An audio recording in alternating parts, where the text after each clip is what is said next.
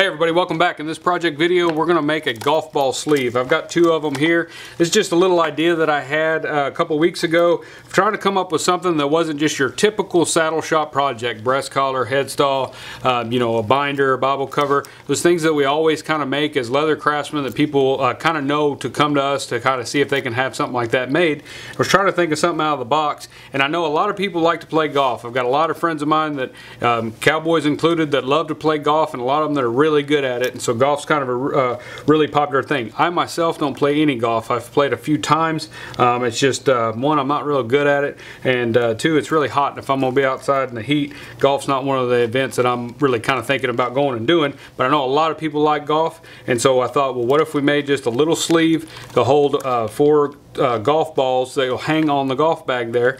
And so we designed this. This is actually, this one in the video that we're going to make is actually the fifth one I've made, I think. I made three or four just trying to get the pattern really lined out. It was trickier than I thought, but now that the pattern's done, it's a very simple project to make. But I got one completed that I really, really liked, and it looked just like this.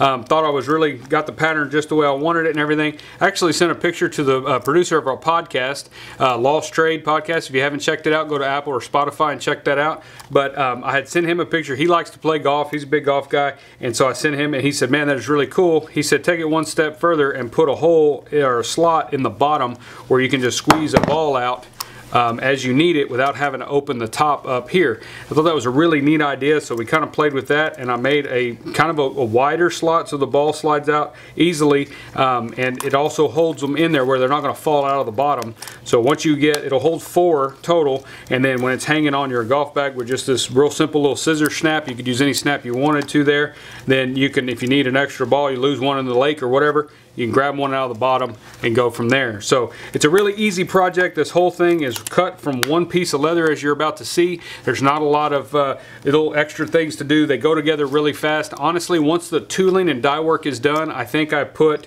one of these together the other day in about 15 minutes, if that. That's included slicking edges and everything. But these go together really easily and they're a fun little project. So let's hop right into the video and make one of these golf ball sleeves. All right, so here we've got a piece of 5 6 ounce leather. I probably wouldn't make this much heavier than that. You could probably bump it up to about a 7 8 if you wanted to. It's just going to make it a little bit um, more firm, but I like that 5 6 ounce weight. You want to go ahead and cut the whole pattern out. If you do have the pattern pack, um, do not cut out the slots. Don't make any hole punches or anything like that. Don't cut that slot out yet. Just uh, cut the basic perimeter shape for now.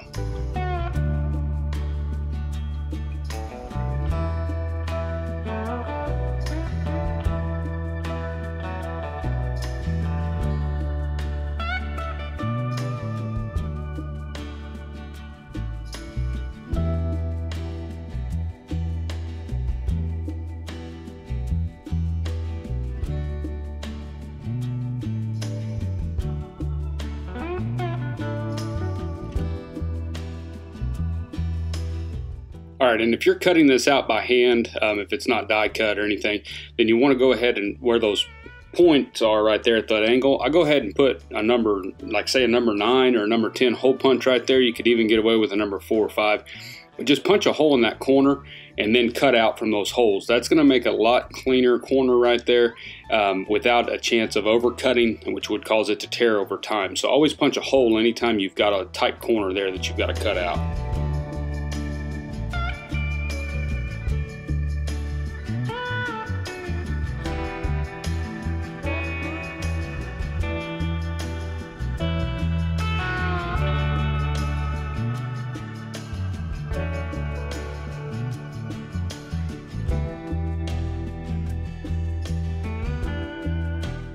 All right, so here we're just going to go ahead and take our blue painter's tape and go ahead and just put that on the back like we do anything else. We are going to tool this one. If you're not tooling it, no reason to even take the time. If you're just doing a border stamp, you might not even do this with that.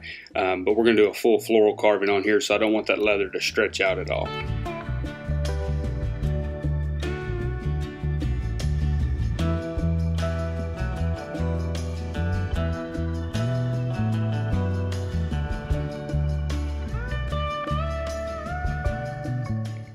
So here we're gonna go ahead and get the tooling started. Uh, we're just gonna show a little bit here of kind of me getting it drawn in there. The pattern pack does have 10 different tooling patterns, different floral patterns in there. Some of them have space in there if you wanna put a brand or initial on there, as well as some uh, geometric stamping and stuff. But this pattern here is available in the pattern pack as well.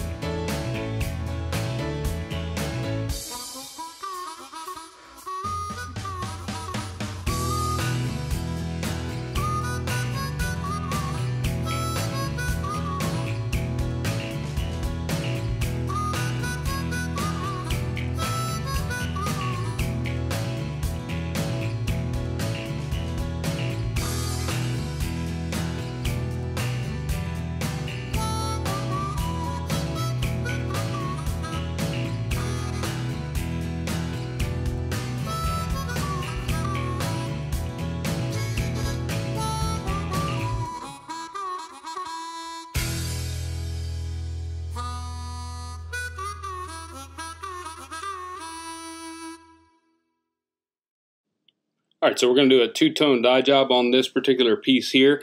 And I'm actually going to use, instead of using my normal uh, dark brown or medium brown dye like I always use, I actually chose to use some Cordovan on this one. And I'm kind of suspicious that my Cordovan may be a little bad or old um, because it seemed really, really dark. But that just may be the natural color of the Fiebing's Cordovan. I'm not sure. I don't use that dye color a lot, but I do like it. But I did, I did like how this piece turned out. It had a really neat color to it.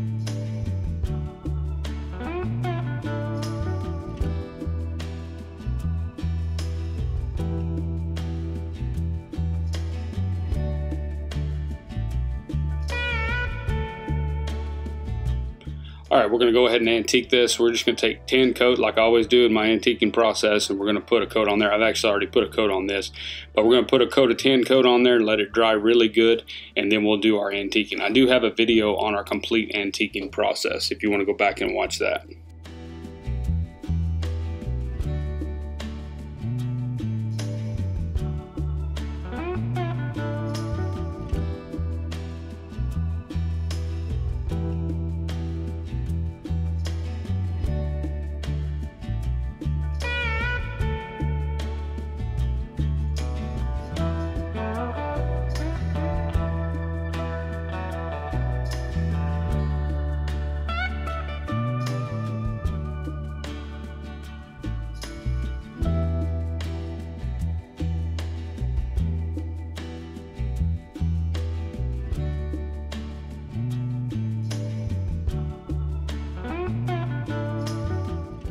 All right, so we got it all antiqued. It's that time to dry. Now I want to go ahead and pull that blue painter's tape off. Always remember, especially on thinner leathers, when you're pulling the blue tape off, to hold the leather down and pull the tape. Don't pull the leather because you can chance wrinkling the leather. So just hold it flat on the bench and pull the tape off.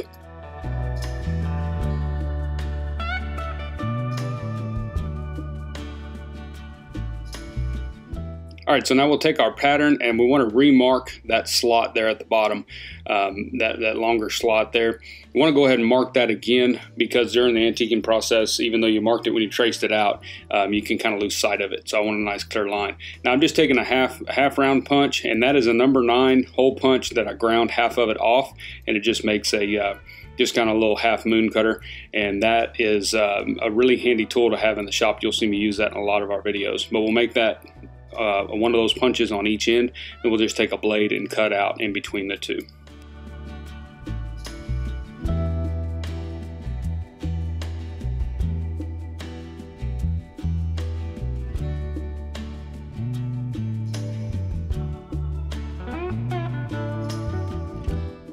All right, so the first thing we're going to do now that that's cut is we're going to go ahead and edge that slot. This will make it nice and clean and professional looking, allow us to dye that inside. It's a really uh, wide slot there, so you want you're going to be able to see that edge. So we've got room to make it slick and pretty and professional. So we're going to go ahead and do that. I'm using a number two Ron's edger here.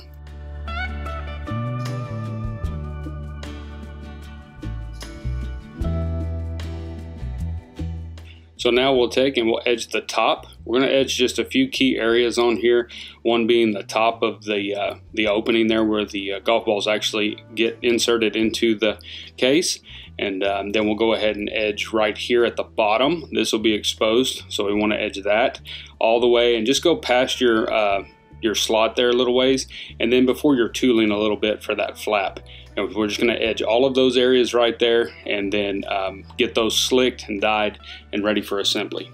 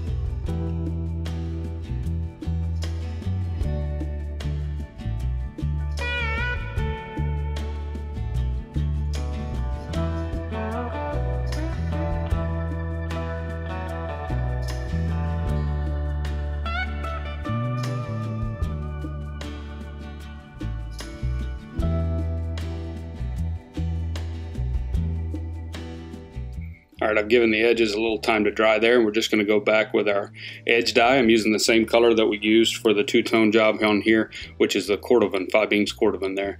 And we'll just dye all those edges and let those dry.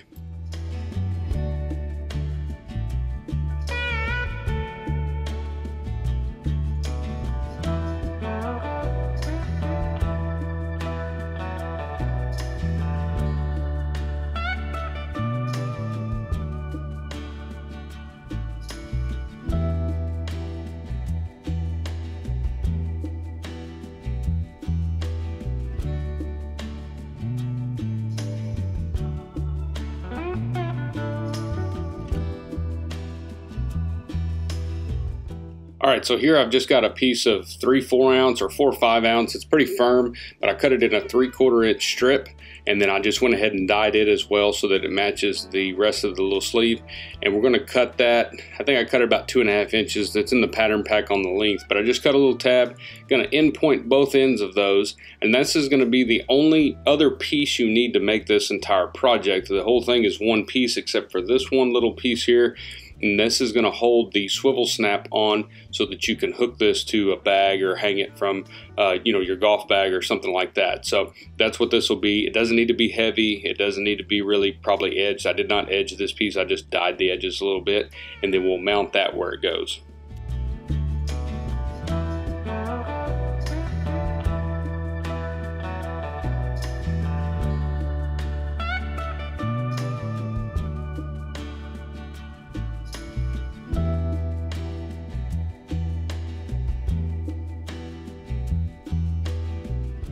Okay, so now we're going to put our pattern back on top of our sleeve there that we're working on, and we're going to go ahead and mark where our snap holes need to be, as well as this three quarter inch bag slot here, or oblong punch. That's going to be where that snap hanger is going to go.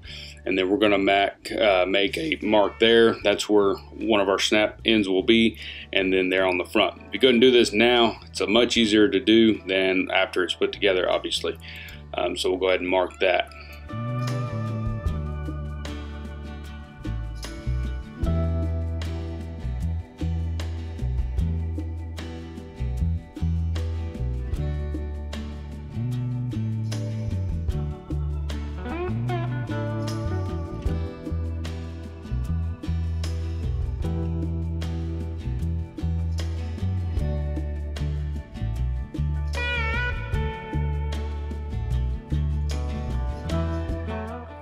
And so now we'll go ahead and set our snaps. I'm going to use a line 20 snap. Um, you could definitely use a line 24. You could use a Sigma snap. You can use the same snaps used on your belts, whatever you prefer. I like these little 20 snaps, these line 20 snaps. They seem to be a little tougher. Um, a little easier to use, especially since there's going to be uh, golf balls in this little sleeve. Um, we're going to be setting the snap on top of an actual uh, golf ball in there, so it should set fine. But I just want a, a nice snap with some substance to it, um, not something that's not going to hold very good. want to make sure that snap's nice and tight. And so you can see we got that one there, and then we'll set the male side on this end and go ahead and get that set.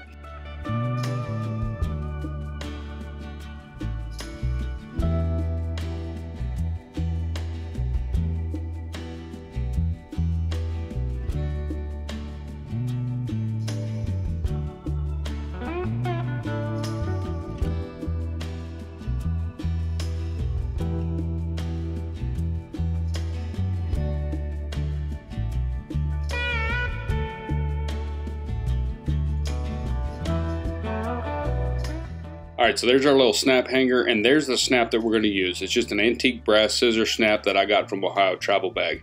Now, when you set this in there, we're going to run one end of it through the bag slot. The other end is going to stay on the outside of the sleeve flap there. The reason for that is we're going to use one double cap speed rivet on here, which is more than enough to hold this snap in place. If you want to use a copper rivet, you certainly can. But with that, any kind of one rivet set like that, if we were to run it, um, if we run it the way it is right there, where you put one inside and one outside, it keeps that snap one from pivoting left and right, but it also stabilizes that and keeps it nice and thin. So you're not going to have a big bulk on the inside or on the outside of the uh, sleeve there, and it makes it look nice and professional.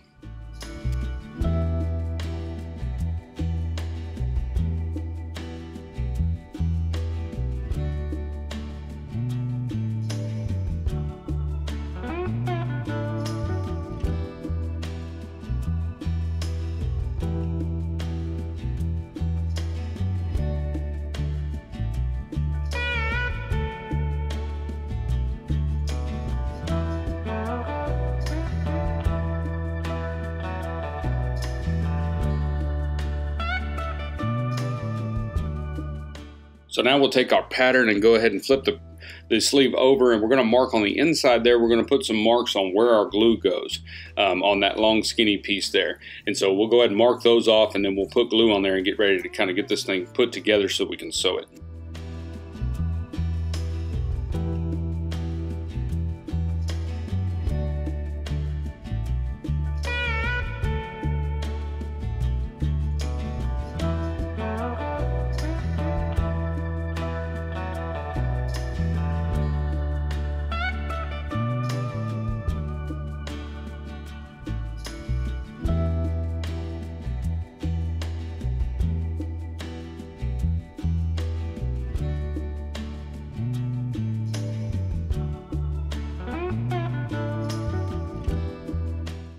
Right, so we're gonna go ahead and run our stitch groove here. I groove when I stitch, so it's gonna look really nice right there. And that's the only place we really, we're gonna sew is just right on those two spots there on this thing. So go ahead and get those grooved and then we'll start putting glue on.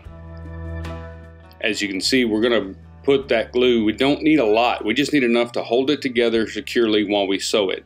And so I'm just going to use a little squeeze bottle applicator there and these little spreaders. I really like these. I've been using them a bunch and they're really handy on things like this where you really just want to conserve your glue and be real accurate on where it goes. Um, and you can see there, we're just going to put that and that'll, that'll be right where when we fold it in half where those line up.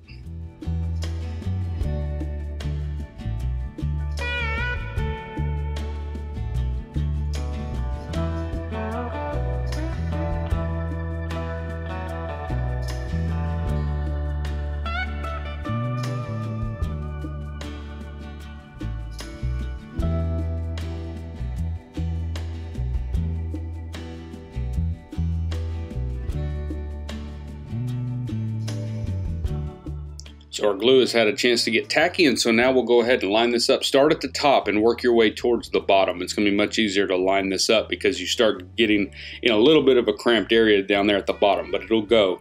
Just got to be real careful with it. So we'll thumb that down, line that up as we go along, work our way towards the bottom, putting it um, and making sure those edges are nice and flush. And then we'll kind of tap those lightly with a hammer, make sure we've got them really secure.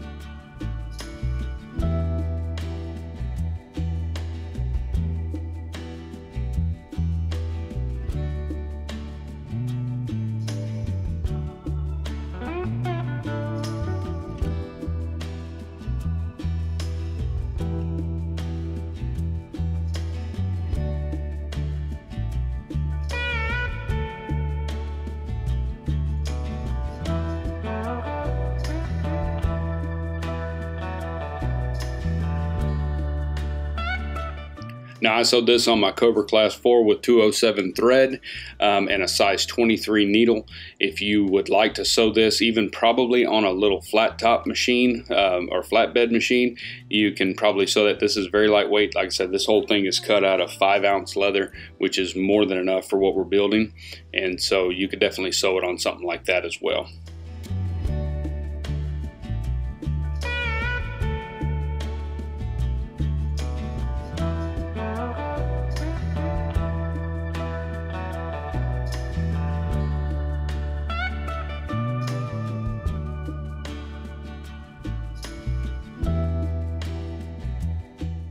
We'll get all our little stitches cut here and then we will go ahead and do our sanding, edging, slicking and dyeing on just the sides right there because we've already done all of the all the edge work and all the dye work on all the other portions of this project. So those sides are the only thing that we have to worry about now. So we'll go ahead and get all of that done.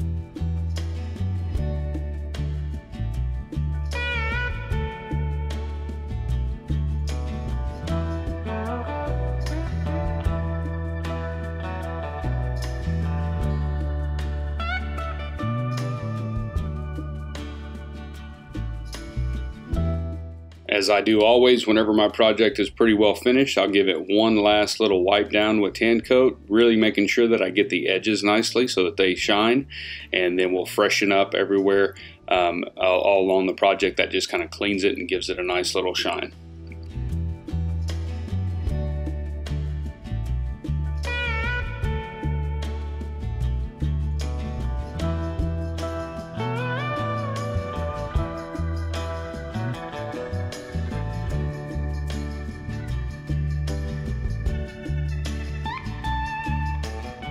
I'm going to take a rub stick and I'm just going to tickle the edge there along where those stitches are just to get a nice crisp angle on that edge seam and that way that looks nice and professional and it lays down. I don't want it kicked up a little bit towards the golf balls or towards the center of the sleeve. We want to kind of get a good crease right there um, and that'll kind of make that backside lay a little flatter.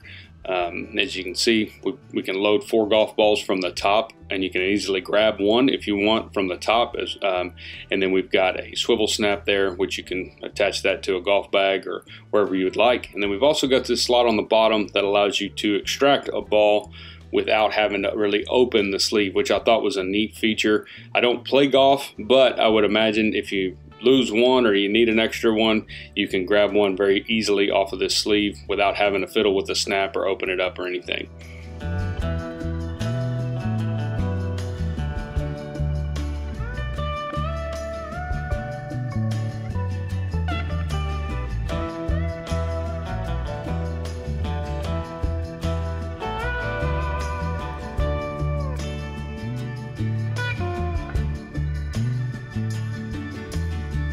All right, so that's making one of our leather golf ball sleeves. As you can see, it went together really easily. There's not a lot to do here. If you're only hand sewing, if you don't have a sewing machine, this is another great project. You can hand sew these two sides very easily. Um, you could buck stitch them if you wanted to. I, I, I think from the front, you're not gonna see the buck stitching very much, so it's kind of hit or miss if you want to take the time, but it'd probably be just as fast as hand sewing it.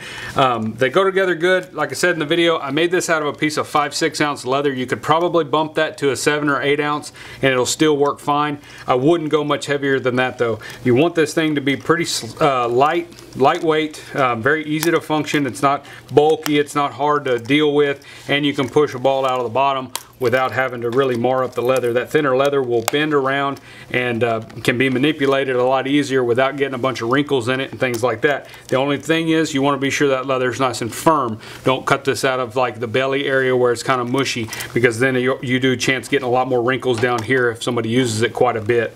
But yeah, goes together really good. I've got another one here that was uh, kind of the first prototype with that slot in there and uh, just did it plain and even plain it's just really classy looking. I think it's pretty. I think these will sell really well in your shop if you're going to a market day, something like that. If you, especially if you're doing a market days like just locally, a farmer's market or a little event or something like that, setting up a table, you are going to run into more people that play golf than you are that ride horses. And that's just kind of a, a demographic fact right? There's just there's more people that play golf than ride horses. And so um, if as far as you can have your tack there and do all that but it's always cool to have some things in your booth even if you're at a roping that maybe doesn't only pertain to horses. And that'll kind of you know get get people thinking. And it's just kind of a unique item. I haven't seen one of these. I kind of I've seen some different types some styles and things that they make but definitely not a whole lot of them that are floral tooled. So I thought this would be a great project to uh, to try there um, as far as the pattern pack, we do offer a pattern pack like we do on all of our project videos. And uh, we've got it here. It is a large format print because as you saw in the video, the pattern is pretty large. It's about 19 and a half inches long. And so when you, you do that on, if I could have broke it up and put it on regular paper, but to me, that's just an extra step for you where you have to kind of piece that together and make sure you got it where you need it and all that. If you buy this one, if you're in the United States, please buy the printed pack. Um, it's just a lot easier. We'll mail it out to you. You don't have to worry about taking it somewhere and having it printed for you, and you know it's the right size. Then you can fold this out, make your templates, whatever you want to do. We might do an acrylic of this. We'll keep you posted on that if we do in the Monday videos, but currently right now, um, I'm really afraid if we do an acrylic, it might break. Unless we can do it in pieces, maybe that would work. We'll kind of go from there and figure that out. But I am, but we do have the pattern pack available, so it's got the cut patterns in there, plus 10 new floral tooling patterns for this. So there's 10 different variations of the floral pattern. This one is one of the ones that's in there, and then there's uh, nine other ones. Some of them have some space in there if you want to do some geometric work, stuff like that. Add a brand or initials as usual in there. So I think it's a really good pattern. I think it's going to work really good in your shop. Give you another product that you can make, especially around Christmas time. Uh, Christmas time, Father's Day, birthdays. This is the type of item here that, you know, I would sell one of these for, I haven't priced it out yet, and I'll maybe try to do a little update on what I would actually price one of these, but right off top of my head, I'm guessing probably a hundred and a quarter, maybe $150 for one of these, maybe more than that. Uh, just depends on how much tooling, how much time you put into the artwork, because putting them together doesn't take any time at all. And real quick, back to the pattern, we do also offer it in a digital version, like we do on all our other patterns. If you want to purchase that, if you're outside of the United States, you're more than welcome to purchase the digital version. It's on there as well. Just remember, it's a large format print, so when you when you get the, the PDF file and you try to print it out, your printer might just stick the whole thing on one sheet of paper and it's not going to be the right size. So you need to take it to a print shop, have them print it out for you. But if you're in the US, buy the printed pattern pack and we'll send it to you. We are going to allow back orders on these for just a little bit to see. So because I don't want to run out, um, we're going to keep keep them coming from our printers. So we will put a note on the product description if they do hit the back order limit. If they do, we'll let you know that they're on back order, but you can still purchase your copy so you've got one coming when we get the next uh, inventory fulfillment on those. I did also have a die made for this pattern. So I have a die coming. It's not here yet, but when that die gets here, we will cut out material packs for this. That to me is a game changer on these because it, it almost takes longer to cut this thing out than it does to get it ready to sew. Um, just because you've got to cut this slot by hand, um, you know, these hole punches and slot isn't a deal, but cutting it out, as you saw me do it in the video, it, can be a little tricky if you're not used to cutting out uh, certain items and things. So I went ahead and had a die made. It's going to put all the holes in it that you need. And so those will be there. All you'll have to do is just tool it up and then you can go to putting it together in no time. And you could make up a dozen of these easily and go to a, a market days or, or, a little show or a roping or even a golf event and set up a bunch of these and sell them. I think they'll do well. Um, we're going to try to work on some more patterns going forward for things like that. Things like this little deal that are maybe a little bit out of the ordinary for a saddle shop just to expand our product line as craftsmen, some different, get into some different uh, things that, that we can offer customers that's not just your ordinary, you know, wallet and belt and that kind of thing, and uh, which always sells well for us, but let's create some more products like that uh, like this that, that we can kind of reach a few more people, get them interested in leather because the more people that are working with leather, the more people that are coming into leather work, the better it is for all of us. And so I think it's a really good deal. So, but I appreciate you guys watching. I hope you enjoyed the video and will be links down in the description for uh, both the pattern packs, uh, whether it's the digital or the printed version. So if you want to get a copy of that, you certainly can. And uh, be sure to go to dgsaddlery.com and sign up for the Leathercraft newsletter. And we'll see you guys in the next project video.